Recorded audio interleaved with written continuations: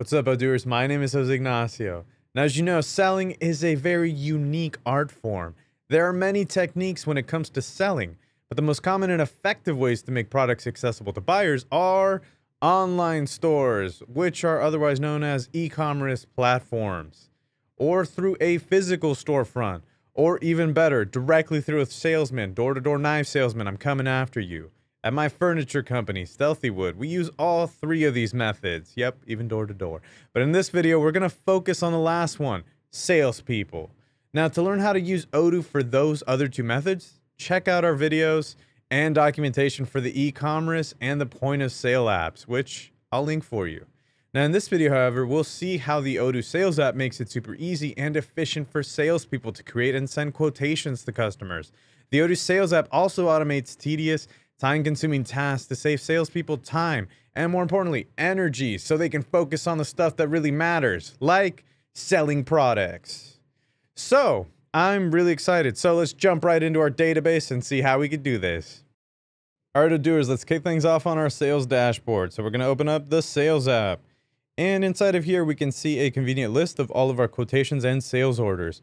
To create a new quotation, we actually just have to simply click New up here. All right, perfect. So from here, we'll first select a customer. We can either use, of course, this drop-down menu over here, but that's not cool and flashy.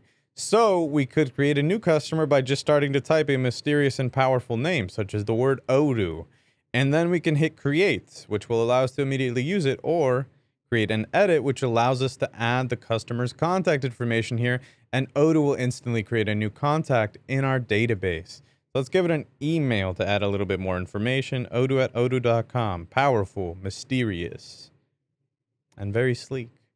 All right, up next, we'll add a product. Let's say this customer wants to buy one of our customizable desks. So we'll select add a product, customizable desk.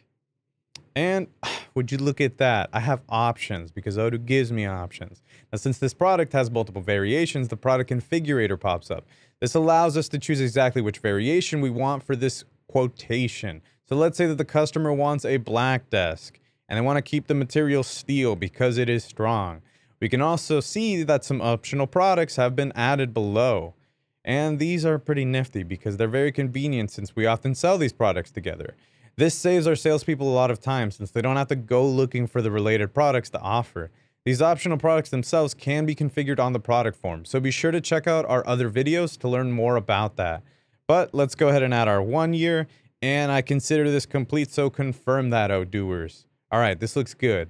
So after adding the products, I can actually easily change the quantity or the price manually on the quotation as well. Let's assume they want two.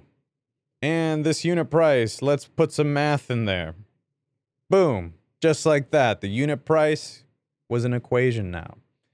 Now, what if I want to put an optional product on the quotation itself so the customer can add it to their cart later if they're interested?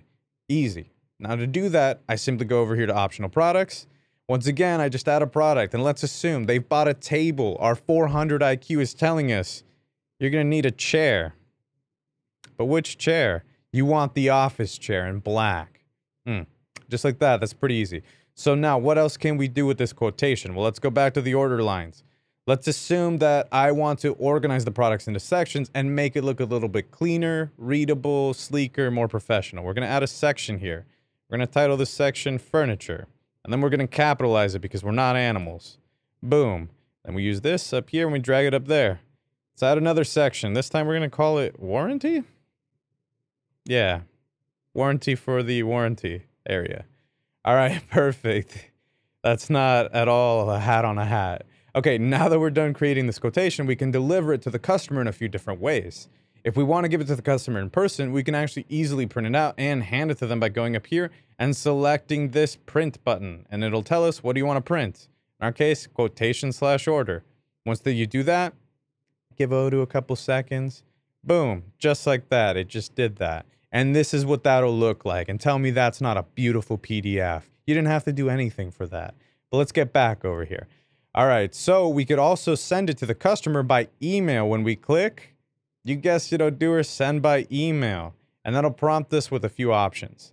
Now, once that, that loads, it shows us the text of the email along with the subject and a few other things. Here's the templated text of the email that we can actually edit if necessary. we can actually just type something in down here like, we didn't say thank you. Let's do it in all caps. We're really happy right now. You also see that the PDF is automatically attached. Perfect. And if we like the changes that we made, we can actually save it as our own template for future use by clicking as save as a new template down here below and tell me that's not useful. But for right now, I don't want to save it. So let's just send this email as is. Just select that little button and would you look at that over here? It gives us a little copy. When we send the email, a copy of it is automatically recorded in the chatter section of the quotation here, just so that all of this information about this order is in one convenient place. Now, would you like to see what this online quotation looks like for a customer?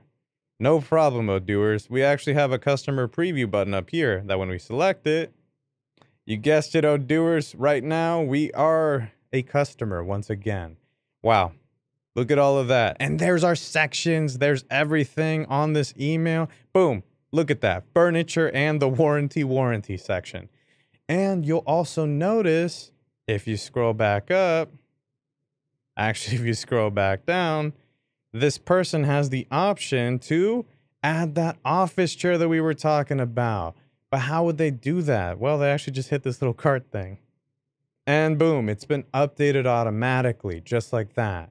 Now, customers can also sign and pay for their quotation online, and that confirms their order right there. And that's insanely convenient. But in our case, everything looked pretty good, so we're going to go back to edit mode.